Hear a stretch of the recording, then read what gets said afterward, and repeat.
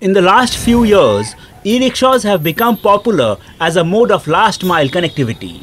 Dozens of e-rickshaws can be seen outside bus stops and metro stations and lakhs of commuters have become dependent on these vehicles.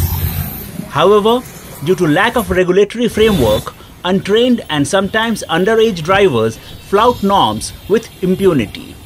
Instead of operating in residential neighborhoods, they crowd main roads leading to slowing of traffic.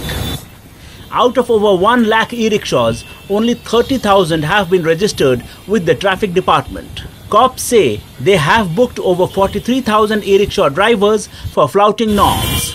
More than 30,000 drivers were booked for improper parking outside metro stations and busy markets, thus obstructing the flow of traffic. Others have been booked for overloading and using more powerful motors than is permissible.